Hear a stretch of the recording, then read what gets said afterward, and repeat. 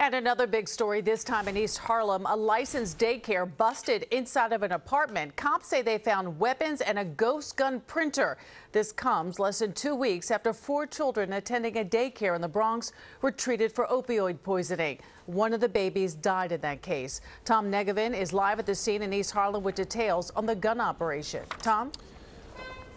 Right, Sade, that daycare on the fifth floor of this East Harlem apartment building. Off camera, residents tell us there have been complaints about the operator's son, 18 year old Karan Kohli, who is charged along with two minors and expected to be arraigned tonight.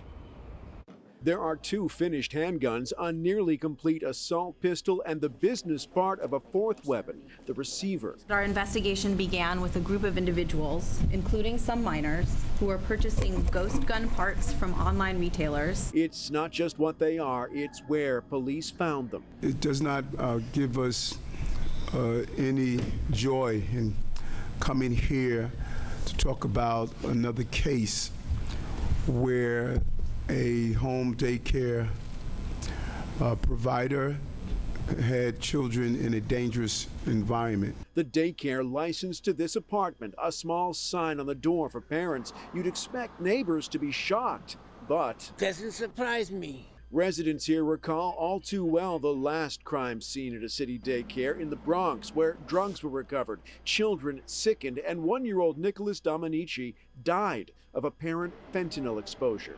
These uh, new methods of creating unsafe environments demand that we stay ahead of those who are doing terrible things in centers where we place our, our children.